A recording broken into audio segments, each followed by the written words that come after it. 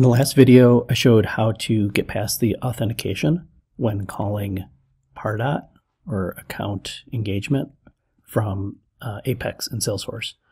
The next step, someone asked, how would I go about inserting a new prospect into Pardot? Here, I've created some sample code, and um, the way that I way that I figured this out was starting by looking at the documentation. This is the main site for the Pardot API, now called Account Engagement. Go to Guides, and then I went to version 5 docs, and then prospects. Here I can see if I want to create a new one, we're going to be using this objects prospects. And when I go further down, I think what I did was I just searched this URL to jump down. All right, so here's their example to create prospect. The thing I didn't like about their example is that they don't show the business unit.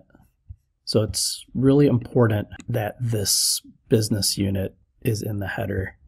I think you'll get an error if that's not in there. They pass the prospect that you want to insert as just JSON in the body of the request.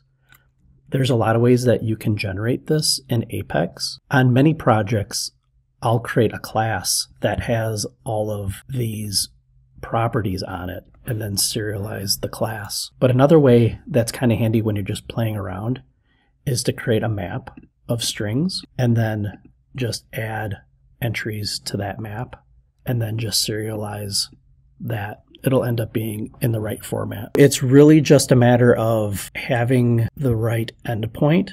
Oh, and this is and passing in the fields that are on the on the object that you're creating. Use a post instead of a get. That's telling it that it's going to create. Make sure you have the business unit. Construct the payload to whatever you want it to be and then make the request. So I'll go ahead and call this. I'm just going to execute anonymous. And in the response, I have the ID of the prospect that was just created. And I can come back into the system and refresh. And this is that record ID, email address, first name, last name.